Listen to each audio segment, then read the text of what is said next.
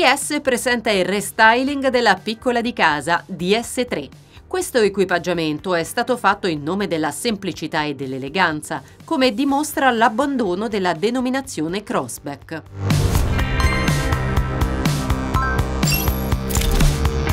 Sebbene le forme non siano state stravolte, è stato fatto un lavoro di sottrazione per diminuire l'eccesso di cromature e migliorare la firma luminosa, ora con la componente verticale sdoppiata decisamente più accattivante.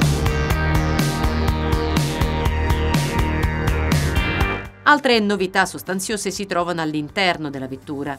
Qui le finiture di alta qualità e il design eccentrico sono stati mantenuti, ma l'organizzazione dei tasti è stata rivisitata per coinvolgere sia la plancia che il volante, rendendo la guida più pratica e facile. Inoltre il sistema di infotainment è stato aggiornato ed è ora più grande, definito ed evoluto nell'utilizzo.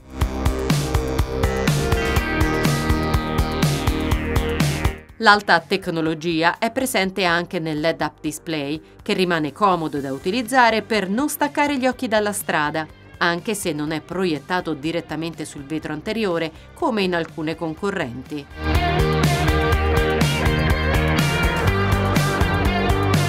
Per quanto riguarda la gamma motorizzazioni non ci sono novità sul fronte termico, ma la variante e-Tense da noi provata, l'elettrica per intenderci, è stata potenziata sia nella potenza che nell'autonomia.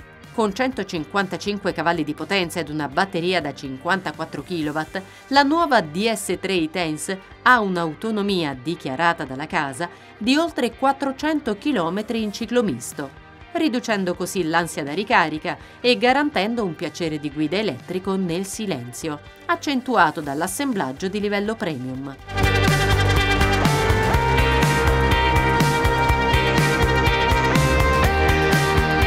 Nonostante non sia una vettura adatta ai lunghi viaggi, DS3 è perfetta per la circolazione in città, grazie ai consumi ridotti e per le medie percorrenze, senza il timore della ricarica. Lo stile ricercato e raffinato completa il tutto, regalando personalità ed eleganza ad un progetto che unisce molte delle richieste del mercato attuale, altezza da terra, sostenibilità, stile ed autonomia.